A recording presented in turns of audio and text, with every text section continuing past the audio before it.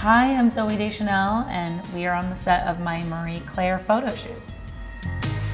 Forget your talking, give me stone cold loving. I'm done with listening, give me stone cold loving.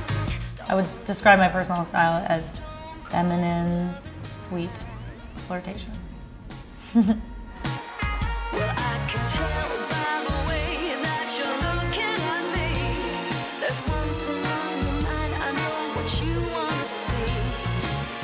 I relate to my character Jess in some ways. I think we're both emotional and excitable and, and happy and I think I'm a more composed person. I would say she's very much like a 13 year old version of me, like if I were a tween.